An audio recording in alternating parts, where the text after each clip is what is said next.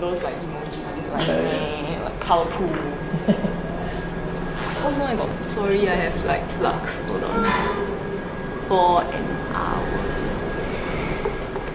Okay, so um, I'm going to continue talking about CSS Grid, but I'm also going to talk a bit about writing mode. So uh, if you guys came for the November edition last year, uh, you you remember that I kind of I talked about like Chinese typography on the web, and that's why I like total, talk a lot about writing mode. So um, I will explain what, what, what writing mode is later. So first of all is what is CSS grid? So this is from the spec. So blah blah blah blah blah. But the, the most important part is this second line, which as Chris mentioned just now, right? Why do we still need grid even though we have flexbox? Now flexbox is single axis, meaning it's great for things that are like on one row or it's like on one column. But the moment you try to make a like a full-fledged layout with flexbox, it, it things start to get a bit tricky. Like you have to give extra wrappers, like things don't behave properly. That's that's normal because flexbox wasn't meant to be a full page layout tool. That was what grid was for. So if anybody asks, if you want to think about it, just think flexbox is single dimension while grid is two dimensional. So that's like the easiest thing to wrap your head around. So like what people ask like when is CSS grid supported? Okay. Gecko intends to ship in 52, which is March 7. So like um, Gecko is like the Firefox guys and uh, Blink is the Chrome guys. They, they kind of have like standard releases, so they actually can give us a real hard date, which is great. So Firefox comes first, Blink comes next, one week later in Chrome 57. So this morning, this was just announced, like oh, we'll ship in Safari 10.1, which is because Safari doesn't have a hard date. Safari is kind of tied to the OS, but we're estimating around like March, Aprilish. And then we have Edge, which is it's on the backlog with high priority. Technically, I, I don't know what this means. So all of us will look like this. Ta-da! Person shrugging. Um, but okay, so but um, where's my Twitter? Okay. So there's this uh, up down there. Is it on the left or on the right? Oh, okay. So this guy, he's called uh, Manuel Rego. He works for a company called Igalia, and they are they are the they are the guys who are actually working on implementing Grid. So he's part of the WebKit, like he's part of this announcement on the third line. So he obviously says here, like he's calling out MS Edge there. So basically, actually, these guys they all know each other, and they they they for how how for all the flack that Microsoft gets uh, for for for all this, I think they're doing quite a good job with Edge and with Windows 10 these days. Like I, I think I'm the only person in Singapore who uses a Windows phone. But um, one thing that I find uh, very beneficial when I'm doing cross-browser testing is that, as you can see, I work on a Mac, right? But if I need to test for MS Edge, MSH, I believe, uses the exact same engine on the desktop version as the mobile version, which is not the case for uh, iOS, because if a bug on iOS uh, Chrome does not appear on the desktop. They're different rendering engines. The good thing that Microsoft has going for it is that they're going with this whole universal uh, uh, so software thing. So a lot of their mobile and desktop applications are actually running on the same code, which helps. Yes.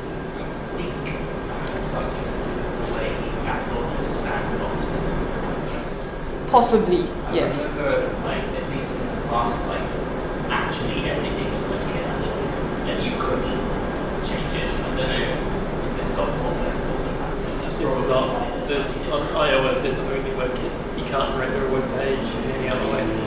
Yeah, basically. Yeah, but that's a security measure. Yeah, so, so that's the tricky thing when you're do supporting mobile, and that's to me that's a plus point for Microsoft. So, yes, I'm probably the only propo- proponent of Microsoft, but yeah, I have a Windows phone, guys. Windows phone. So, um, Chris mentioned this in words, and I'm going to mention this in a table because tables are cool. Um, so each of the browsers, how CSS Grid has been developed is very different. It's a new way of a new way of uh, im- implementing new CSS properties because uh, the people who who which is the CSS working group, right? They they also do learn from like we learn from our mistakes. They also learn from from how it goes along. Um, when Flexbox was implemented, it was really really messy. I think when they put new stuff in browsers, there was this assumption that by putting it behind a vendor prefix, it's an indication to developers that this is like experimental stuff, like and like please don't put it in production. But obviously nobody listens like, oh, I can use it now, why not? So the, what happens is that now we have a lot of vendor prefix code like floating around in the wild and they couldn't do anything about it. And that's why there are three versions of Flexbox syntax. And, and to them, they felt that, that there wasn't a good way to roll out a new uh, CSS property. But at the same time, they still needed developer feedback because what they, what, what they, why they wanted to do this is that, okay, I, I, we're gonna like roll out this experimental feature. Developers, you try it out and tell us like uh, this doesn't work well or I have this other use case and that's the point. So how do you prevent developers from like pushing experimental code out into the wild but still get their feedback? So they tried this, developing behind a flag. So I think this was a great idea. I, I personally feel that the, the, the way they did it, this is great. This is why in March, when it drops, it's going to be immediately standardized unprefixed support almost across the board. So perhaps this will be the, the way that, that they, they continue to implement new, new features, which is behind flag. So how you enable each browser has its own way of enabling uh, grid. So I built something the other day. Um, I'm from Penang, so I speak Penang Hokkien. And um, basically this is just an excuse for me to play with CSS writing mode. Uh, so if you can see from the screenshot very vaguely, like the Chinese text that I'm using is like vertical, like old school vertical. And um, it's not with any like rotation or right. It's there's there's a CSS property known as writing mode that allows you to uh, tell the browser that I want my text to I want my text to be rendered vertically from right to left because at the end of the day, right, the the web is okay, supposedly it's supposed to connect the world together. And, and, and there are like 6,000 languages in the world.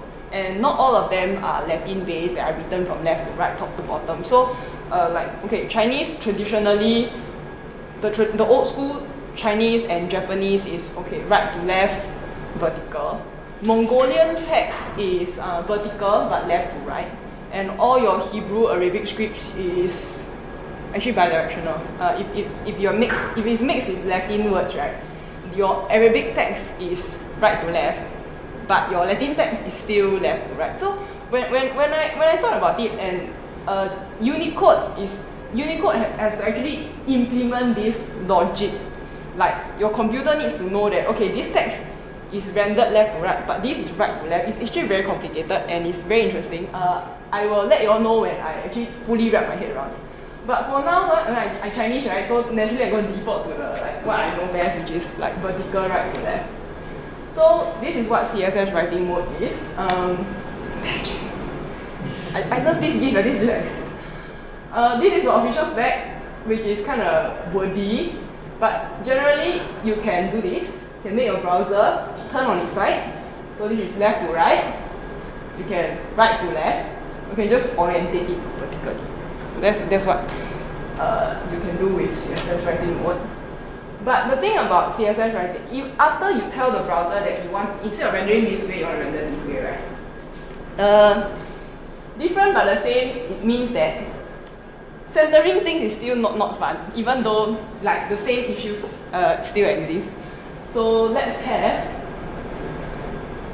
so if you get, oh, it's kind of, but basically there's a box that is the whole this this whole thing is like vertical um, right to left. So then that's why my, the top of my box now is the top right hand corner. So so imagine like the whole whole brother just went this way. So this is the basic basic code, right? So it's, it's very simple. It's just like standard. So if I want to center this, and um, I'm not using the, this, this is a, the same method that you use on a, on a horizon, horizontal top to bottom style, which is the, you use a transform trick. So basically what you do is, okay, not working. Okay, so basically the what you do is you you you put the these these last three lines are supposed to a position relative will allow you to use the right property. So you want to kick it to the right 50% and then you translate it back 50%. I tested it. Oh wait, it's because I sorry.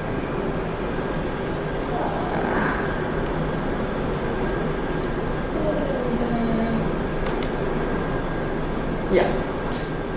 This is what So what, what happens is that when you put position relative, you can use the right property. So you kick it 50%, but if you kick it 50%, it's not enough. So you need to translate it over another 50%, then it's like right smack center. So this is the this is the same method that you use for horizontal stuff. But the, the, the difference is that now when you do my when we want to center things like uh, along the horizontal axis, you do uh, margin left auto, margin right auto? So when you flip everything on its side, right, you use margin top and bottom. So it, the, your, your browser literally, it's kind of the same, it's just renders using a different directional syntax. So the up, down, left, your top and bottom become your so-called left, right equivalents. That's what happens when you flip stuff. And um, so let's, let's say we don't want to do this, and we want to use Flexbox.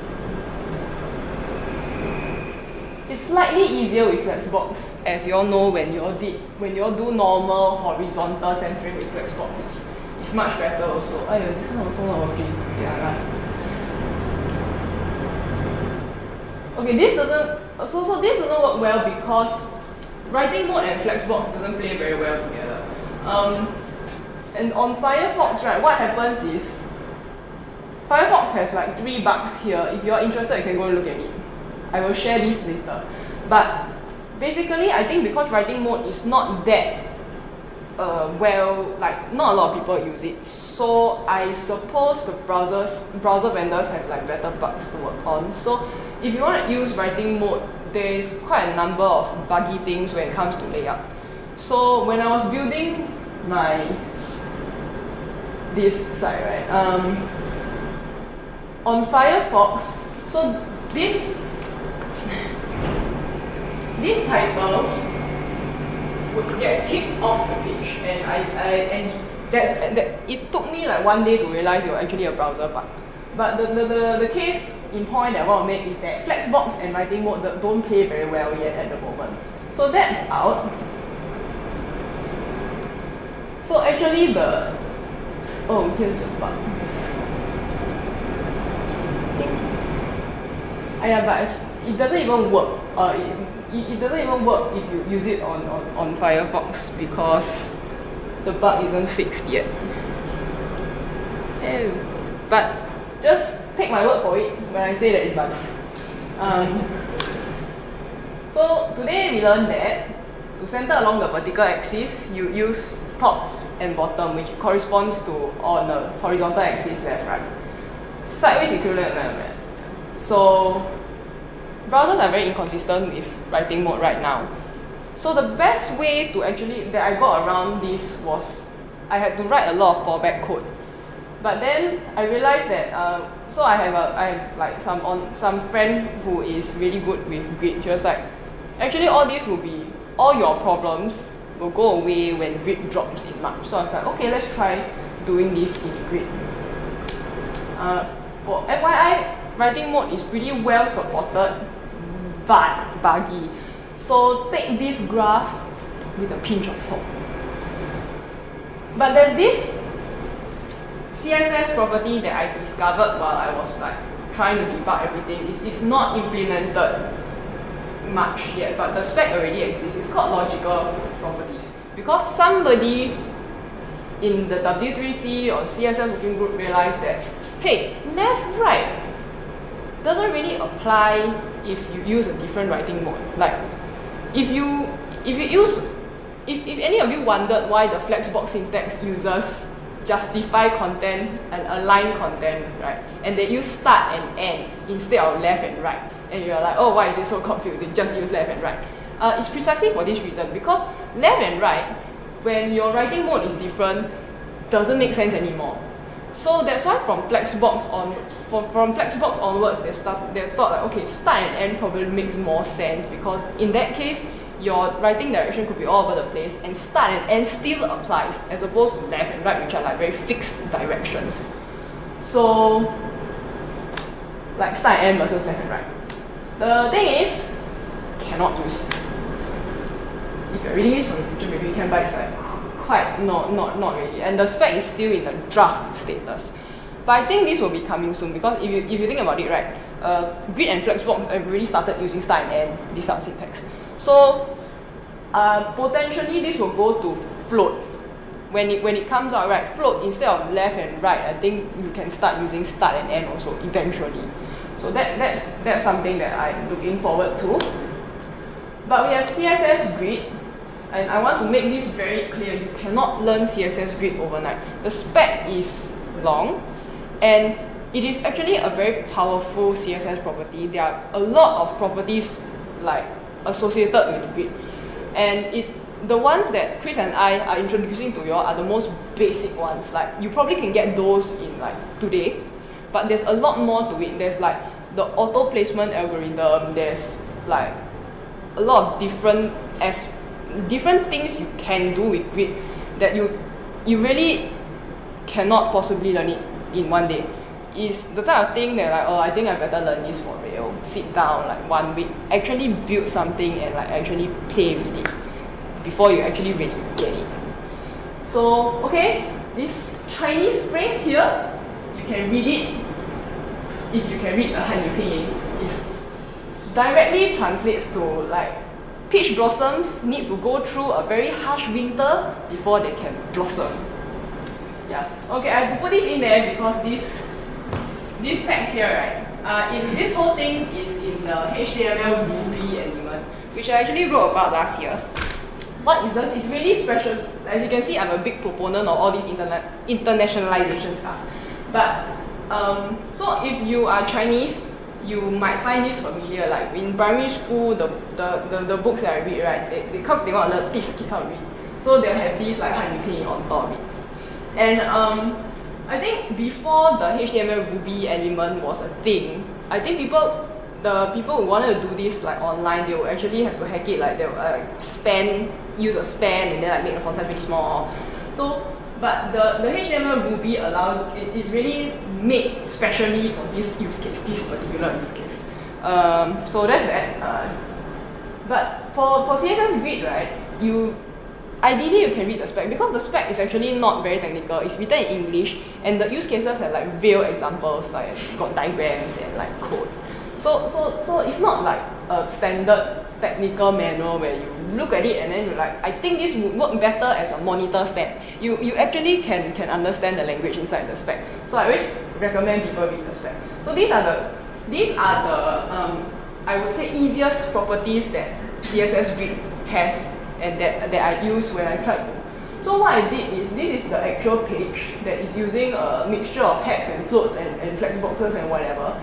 And I replicated it, did it, if it looked exactly the same to you, that is the point. Basically, it's just rewritten in, in grid, but um, the code is uh, smaller. So 17 KB become 14 KB, so it's like NES code in there. Um, so the first thing is, is like because this is just like a hodgepodge of like wrappers and like lots of wrappers just pack everything together. But if I wanted to put it in grid, you have to like imagine how the grid looks like. So this is how I broke it down. Like so there are three sections. I, it doesn't make sense for everything to be a single grid because the, the there's no there's no grid like the three sections right are, are not related to each other but within themselves so actually I have three separate grids for this particular layout right so the first part is, is very simple so I'm just going to explain very quickly the syntax. What CSS grid has is, there's this concept of grid lines. So one, two, three, there are grid lines. And there's also a concept of tracks, which is actually the space between the lines. So like imagine this is a track, this is a track, track, track. And um, when you see, when I do display grid, right, it's, it's very similar to Flexbox in that you apply some, some properties go on the parent and some go on the container.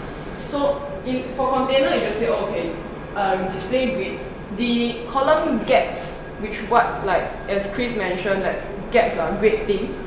Uh, they go on the parent. So you specify how big you want the gaps between your columns and rows. You put it on the parent. And for the for the for positioning the kids, right? You use the so grid row one to what it just means is that I want my top left child item to span from one to two, and the grid column is one to two. That's what the numbers mean. Does not mean half. Um, I'm, I'm sure there's pretty good reason why the syntax is like that, but I think once you wrap your head around it, it's actually quite logical. Um, my favorite uh, properties actually similar to flexbox is this align self and justify self. Oh, this makes my life so much easier. So I, it's exactly the same as flexbox. Uh, for align self and justify self, right, it's basically like inside this thing, you can just align it in the center. Uh, self is for a single child. If you apply align content, justify content on the parent, then it's like everybody. But you can customize the positioning within each grid cell by using the align self. So the syntax, the values are similar to flexbox, like start and end center and stuff like that. Oh my god, I love. This is my favorite flashy ever. So this is pretty simple. This is also very simple. It's just here, this is something that I want. He mentioned just now, right, FR, which represents a fraction of the free space in the grid container. So this again is very similar to Flexbox in like um, flex basis property. So I on the container you have grid template columns. There's also a corresponding grid template rows. What this does is that you apply this, you define your track sizes on your parent. That's why it's like it's a template. So your kids, right? Your kids just you just tell your kids where to go, but the size of the track itself is defined on the parent. So that's why it's grid template column. So for columns, right? I wanted this one to be 3.6 m, so it's fixed. But the rest are like whatever. So you use one FR. So again, it's a fraction of the free space. So it's not that it's a fraction of the whole thing. It's whatever free space that's left over after the fixed items are accounted for. Um, the spec covers this, and, and I'm just going to prove that it's in English, okay, you guys. Uh, it says here, see, it's, it's very understandable, right? Like, uh, distribution of free space occurs after all non-flexible track sizing functions have reached their minimum. That's pretty Englishy, right? It's understandable, right? It's a nice document, like if you're waiting for your flight, you can just read this at the airport. It's good for you guys, good for. And um, okay, moderate grid. Yeah. So you can nest grids. Um, so what I did is that this nine section thing, the outer grid is just this thin sliver and this this part. So that's the outer grid. So I nested one more grid inside this big space. And I want, this is equal, just equal uh, four column, two row. So what you can do is there's a there's a syntax called repeat. So for template columns, right, you you can even name, as you can explicitly, uh, rather than using one, two, three, four, right, you actually can name it, but that syntax is a bit more complicated. So let's just go with the index numbers. But like if it's a pattern, meaning, um, because I, I made this responsive, right? So if it's four, right? Hey, Jane, like- you're yeah? making my code look bad because you're using repeat. So I don't want to type like one FR, one FR, one FR, right? You can just use repeat.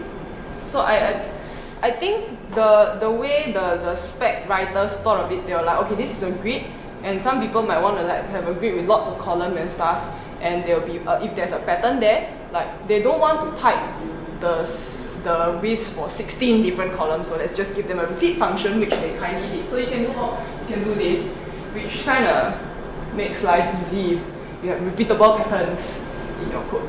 So, and, and, and actually that's, I only touch on this, as I mentioned there are a lot more in the fact that you, there, there's something called grid template areas and you can name the areas which I did not cover. It's just to let you all know that there's a lot more to grid than any person can cover in like one session. It's probably going to be like, oh, let's have a three-day workshop on CSS grid kind of thing. And even then, I, I, I won't say it's easy to understand. It's not. Because but anything that is anything that is very powerful and complex definitely takes a bit more effort on our part to go and understand. If, if it's easy as oh CSS uh, color equal green right? No, no, no, nobody nobody talks about the CSS background color property right? Because like it changes the background color. Thank you. No, no, no, no, no, right? So so that's that. Uh, so this is a very solid further reading if you really want to pick up grid. Uh, grid by example is like the the the resource for, for grid by Rachel Andrew. So she came last year also and she um, did not really talk about grid. She did talk about grid uh, in the in the CSS conf, uh, but this is like the best resource you can possibly have because she has a lot of live use cases um, which you can actually play around with because you put it on CodePen. But she has like simple examples, then like actual UI and up all the way up to actual page layouts. So it's and you can just fork her CodePen to play with yourself. So that's definitely very good. Uh, as I mentioned, the, the guy whose Twitter I showed just now works for Igalia, right? So they also have a bunch of CSS grid layout examples. Actually, the method to enable CSS grid I actually like borrowed from there. And um, CSS Tricks has this really great complete guide to Flexbox that I like still refer to. And there's an equivalent for grid. And this helps because I can I lose track of the syntax. I can is it justify content or justify items or something? I will always refer back and this is a this is a pretty good uh, equivalent for, for grid as well. So yes, that is me. We are done. Uh, thanks. Any questions? Probably not. So okay, very good. Cut.